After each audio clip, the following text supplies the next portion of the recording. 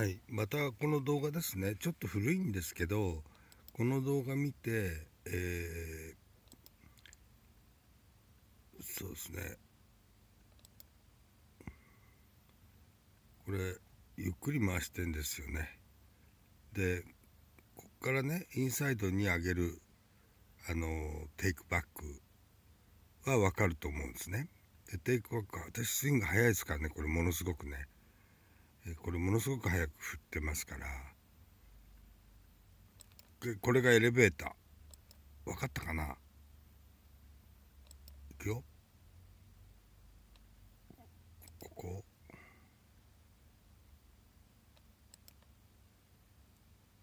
はい。ここからこうテイクバック上げてストップ。はい。ここまでは普通に分かるよね。こっからでもう右肩の位置まで来てるでしょ。でこれがこっから上がねエレベーターなんですよ。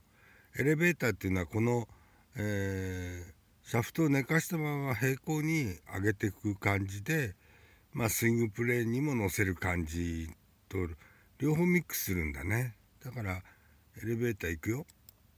はいこれがエレベーター。分かったかな。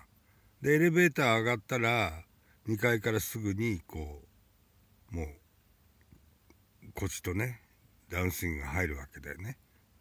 スンってね。わかりますでしょうかね。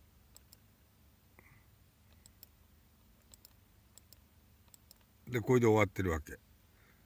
でこれでスイング終わりなんだけどここでみんながね「右の腰押し込まないんですか?」って言うから押し込まないんですよって当時言うにはね私しかこのスイングしてるのいなかったの。世界中で。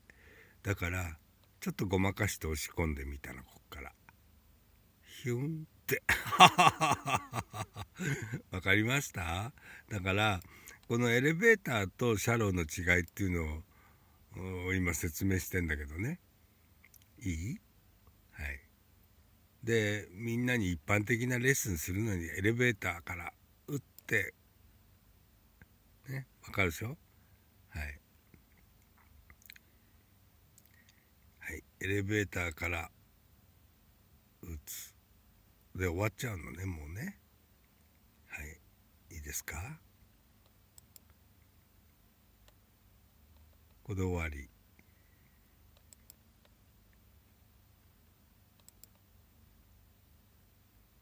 ダウンスイング入るでしょ？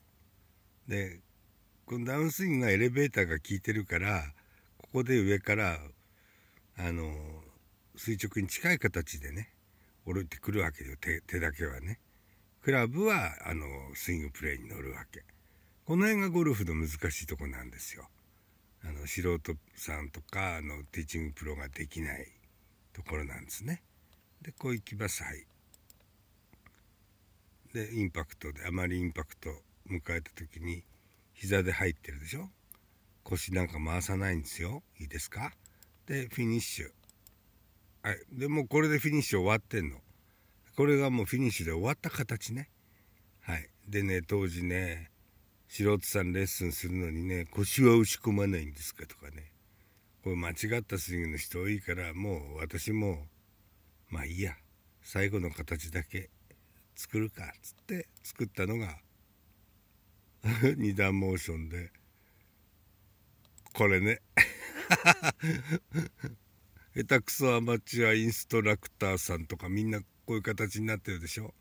こういうのはいらないんです。はい以上。どうも。